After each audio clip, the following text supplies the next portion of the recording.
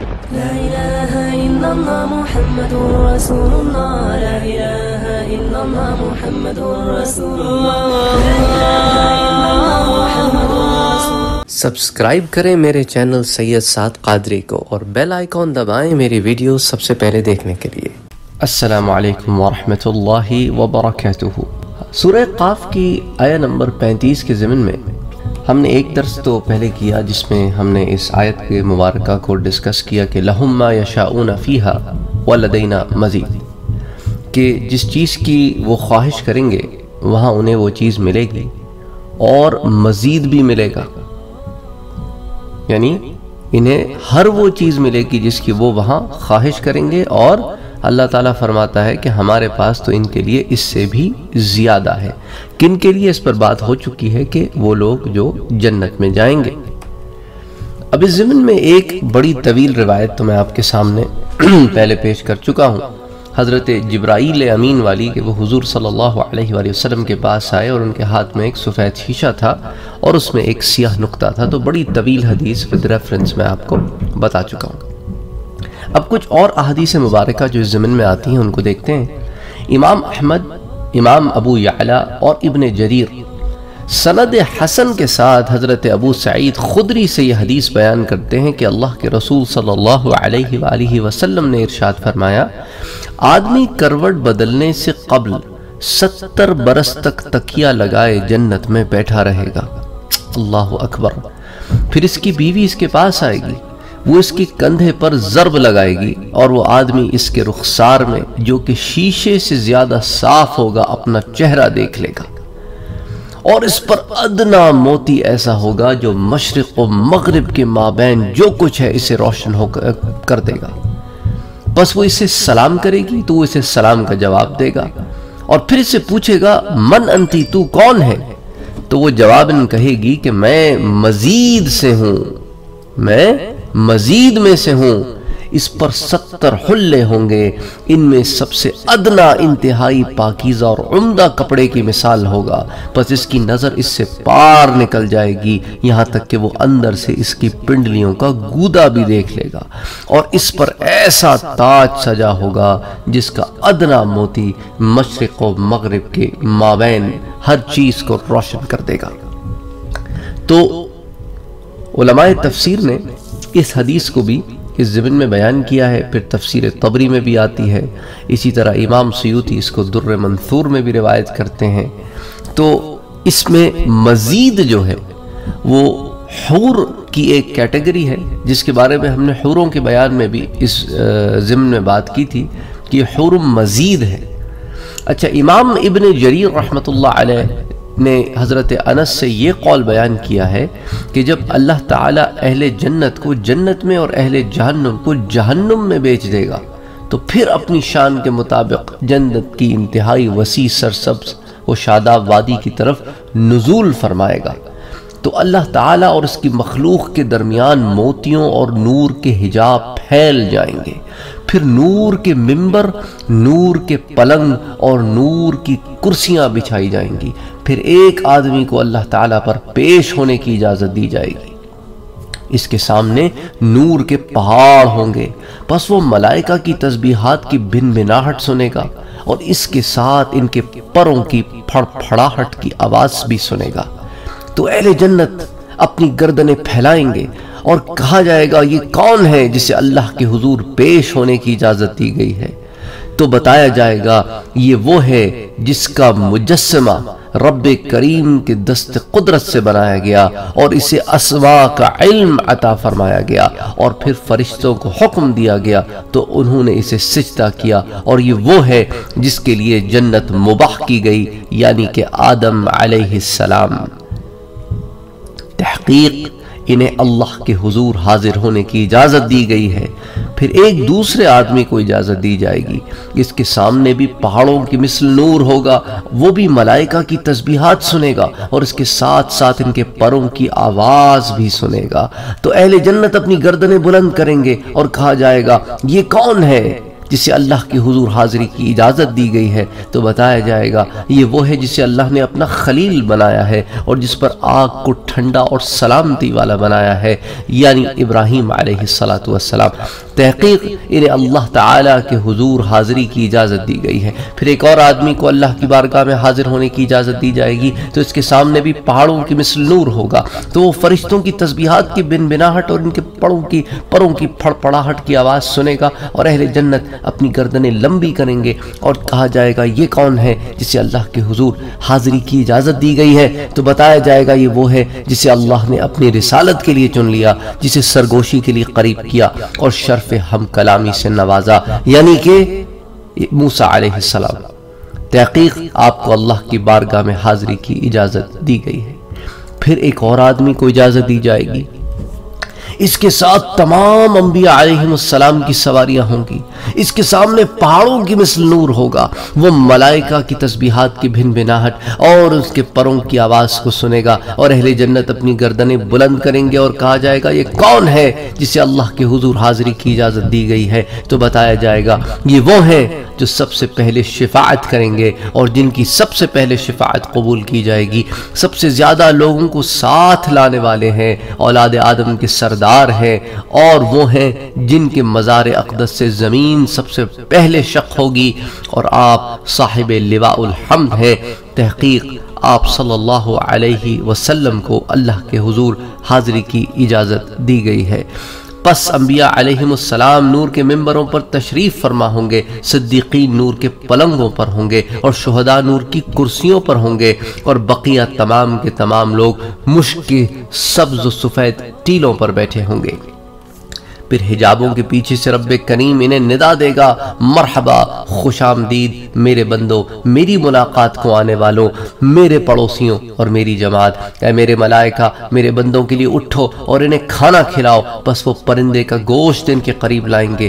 گویا یہ وہ نصیب اور بخت ہے جس کے نہ بال ہیں اور نہ کوئی ہڈی، تو وہ اسے کھائیں گے۔ پھر رب کریم حجاب کے پیچھے سے ندا دے گا۔ مرحبا اے میرے بندوں، میری زیارت کو آنے والوں، میرے پڑوسیوں اور میری جماعت کھا چکے ہو۔ اب انہیں خوب پلاؤ، چنانچہ غلمان جو غلام ہوں گے نا، اس کی جمع ہوتی ہے۔ غلمان ان کی طرف اٹھیں گے، جو انتہائی قیمتی موتیوں کی طرح ہوں گے۔ ان کے پاس سونے اور چاندی کے برتن ہوں گے، جن میں انتہائی لذیذ مختلف قسم کے مشروب ہوں گے اور ان کا آخر پہلے کی طرح لذیذ ہوگا۔ اللہ اکبر یہ بات ذرا ذہن میں رکھیے کہ ان کا آخر پہلے کی طرح لذیذ ہوگا۔ کیا مطلب کہ جب ہم دنیا میں کوئی چیز کھاتے یا پیتے ہیں تو پہلا لقمہ سب سے زیادہ اچھا لگتا ہے۔ اس کے بعد جیسے جیسے دھیرے دھیرے کھاتے رہتے ہیں ایک افیکٹ آتا ہے کہ دوسرا لقمہ پہلے سے کم اچھا لگتا ہے، آخری لقمہ ہم کھاتے ہیں تو وہ پہلے لقمے جیسا نہیں ہوتا۔ پینے کا بھی یہی حساب ہے، لیکن وہاں آخری پہلے کی طرح لذیذ ہوگا۔ سورہ واقعہ میں آتا ہے کہ لا يصدعون عنها ولا ينزفون۔ نہ سر درد محسوس کریں گے اور نہ مدہوش ہوں گے۔ وہ ایسی چیز ہوگی جو پی جائے گی۔ پھر اس کے بعد اللہ تعالی حجاب کے پیچھے سے انہیں ندا دے گا۔ مرحبا میرے بندوں مر میری زیارت کو۔ آنے والوں میرے پڑوسی اور میری جماعت، کھا چکے ہو اور پی چکے ہو۔ اب پھل کے ساتھ ان کی توازو کرو۔ پھر بڑی بڑی پلیٹیں ان کے قریب کی جائیں گی، جو کہ یاقوت اور مرجان سے مزین اور آراستہ ہوں گی۔ اور ان میں ایسے پختہ تازہ کھجورے ہوں گی، جنہیں اللہ نے دودھ سے زیادہ سفید اور شہد سے زیادہ شیریں بنایا ہے۔ چنانچہ وہ انہیں کھائیں گے۔ پھر حجاب کے پیچھے سے رب کریم انہیں ندا دے گا۔ مرحبا، میرے بندوں، میرے ملاقاتیوں، میرے پڑوسیوں اور میری جماعت، کھانے کھا چکے، مشروبات پی چکے اور پھل بھی کھا چکے۔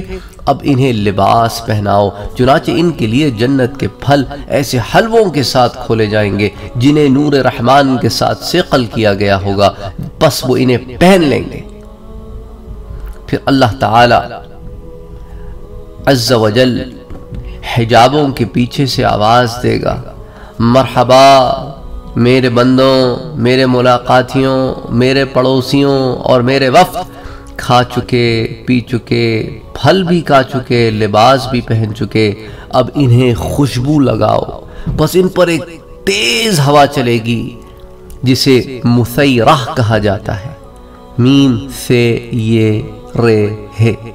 اور اس میں سبز اور سفید مشک کے برتن ہوں گے۔ اور وہ ہوا اسے ان کے چہروں پر بغیر کسی غبار اور سیاہی کے پھونک دے گی۔ پھر اللہ تعالی انہیں حجاب کے پیچھے سے ندا دے گا۔ مرحبا، اے میرے بندو، میرے ملاقاتیوں، میرے پڑوسیوں اور میرے وفد۔ کھا چکے، پی چکے، پھل کے ساتھ توازو کر چکے، لباس پہن چکے اور خوشبو لگا چکے۔ بس مجھے اپنی عزت کی قسم میں ضرور بھی ضرور ان کے لیے ظہور فرماؤں گا تاکہ وہ مجھے دیکھ لیں۔ بس یہی اللہ تعالیٰ کی جانب سے عطا کی انتہا ہے اور مزید فضل ہے۔ تو یہ جو لفظ مزید آیا ہے، وہ اس حدیث میں اس کی یوں تشریح آتی ہے کہ یہ مزید فضل ہے۔ پھر رب کریم اپنا دیدار کرانے کے لیے ان پر ظہور فرمائے گا۔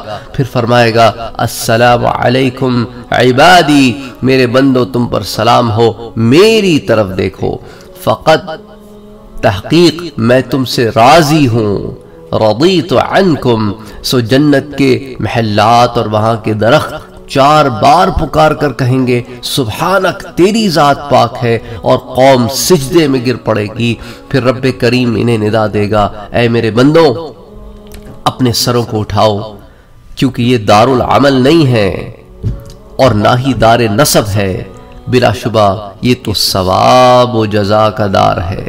اور مجھے میری عزت کی قسم، میں نے اسے صرف تمہارے لیے ہی پیدا کیا ہے اور کوئی ایسی ساعت نہیں گزری جس میں تم نے دار دنیا میں میرا ذکر کیا ہو اور میں نے اپنے عرش کے اوپر تمہارا ذکر نہ کیا ہو۔ سبحان اللہ سبحان اللہ سبحان اللہ تو تفسیر تبری میں اس آیت کے تحت یہ حدیث آتی ہے، پھر در منصور میں بھی اس آیت کے تحت یہ حدیث آتی ہے۔ تو اب یہ ایک اور بات ہوگی مزید سے متعلق۔ ایسی بات نہیں ہے کہ ایک بات ہے تو دوسری نہیں ہے۔ یہ تمام باتیں شامل ہیں۔ اسی طرح امام ابن مردویہ نے حضرت انس بن مالک سے روایت بیان کی ہے کہ اللہ کے رسول صلی اللہ علیہ وآلہ وسلم نے مجھے حدیث بیان فرمائی۔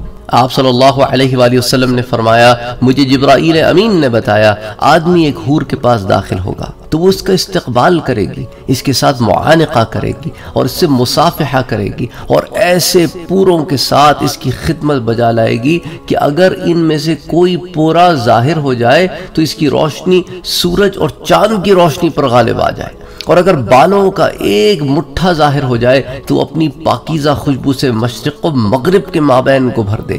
بس اسی اسنا میں کہ وہ اس کے ساتھ پلنگ پر تکیہ لگائے بیٹھا ہوگا، اچانک اوپر کی جانب سے اس پر ایک نور چمکے گا۔ تو وہ یہ گمان کرے گا کہ اللہ اپنی مخلوق پر ظہور فرمانے والا ہے۔ پھر ایک حور سے پکار کر کہے گی، ایک حور اسے پکار کر کہے گی، اے اللہ کے دوست، کیا ہمارے لیے تجھ میں کوئی حصہ نہیں ہے؟ تو وہ کہے گا اے آواز دینے والی تو کون ہے تو وہ جواب دے گی، میں ان میں سے ہوں جن کے بارے میں اللہ تعالیٰ نے فرمایا، وَلَدَيْنَا مَزِيد، چنانچہ وہ اس کی طرف پھر جائے گا اور اس میں اتنا حسن و جمال اور کمال ہوگا جو پہلی کے پاس نہ تھا بس اسی اسنا میں کہ وہ اپنے پلنگ پر تکیہ لگائے بیٹھا ہوگا کہ اچانک اوپر کی جانب سے ایک نور ظاہر ہوگا، تو یہ دوسری حور ہوگی جس جو اسے آواز دے گی، کہ اے اللہ کے ولی، کیا ہمارے لیے تیرے پاس کوئی باری نہیں؟ تو پوچھے گا، اے پکارنے والی، تو کون ہے؟ تو وہ جواب دے گی، میں ان میں سے ہوں جن کے بارے اللہ تعالیٰ نے فرمایا، فَلَا تَعْلَمُ نَفْسٌ مَا أُخْفِيَ لَهُم مِّن قُرَّةِ أَعْيُنٍ جَزَاءً بِمَا كَانُوا يَعْمَلُونَ. یہ سورہ سجدہ کی آیت ہے کہ پس نہیں جانتا کوئی شخص جو نعمتیں چھپا کر رکھی گئی ہیں ان کے لیے جن سے آنکھیں ٹھنڈی ہوں گی، یہ صلاح ان اعمال حسنہ کا جو وہ یہ کرتے تھے۔ پس وہ مسلسل ایک بیوی سے دوسری بیوی کی طرف پھرتا، بدلتا رہے گا۔ سبحان اللہ۔ اچھا امام سعید بن منصور اور ابن منذر نے حضرت محمد بن کعب سے لَهُمْ مَا يَشَاءُونَ فِيهَا وَلَدَيْنَا مزید کے تحت یہ قول بیان کیا ہے، اگر ادنا اہل جنت کے پاس سارے کے سارے بارے اہل جنت بھی اتر پڑے، تو وہ ان تمام کو کھانے، پینے، بیٹھنے کی جگہوں اور خدام کے اعتبار سے کافی، بلکہ ان کی حاجت و ضرورت سے زیادہ وسیع ہے۔ تو اگر ادنا جنتی کے پاس سارے کے سارے اہل جنت بھی اتر پڑے، تو بھی اس کے پاس اتنی جگہ ہے اور اس کے پاس اتنا کھانا، پینا، بیٹھنے کی جگہ اور خدام ہے کہ سب کو کافی ہے۔ سبحان اللہ۔ امام ابن ابی حاتم نے حضرت کثیر بن مرہ رحمت اللہ علیہ سے ایک قول بیان کیا ہے کہ مزید یہ ہے کہ بادل اہل جنت کے ساتھ ساتھ ہوگا اور کہے گا، کون سی شے کی تم خواہش کرتے ہو کہ میں تمہارے لیے اس کی بارش برسا دوں؟ پس وہ جو شے بھی طلب کریں گے، وہ ان پر اس کی بارش کر دے گا۔ سبحان اللہ سبحان اللہ سبحان اللہ واللہ تعالی عالم بالصواب۔ یہ چند اور حدیثیں تھیں، روایتیں تھیں، تفصیلات تھیں جو اس آیت کے ضمن میں آتی ہیں۔ اللہ تعالی ہم سب کو توفیق عطا فرمائے کہ جنت میں داخل ہوں اور جنت الفردوس میں داخل ہوں۔ وما علینا الا البلاغ۔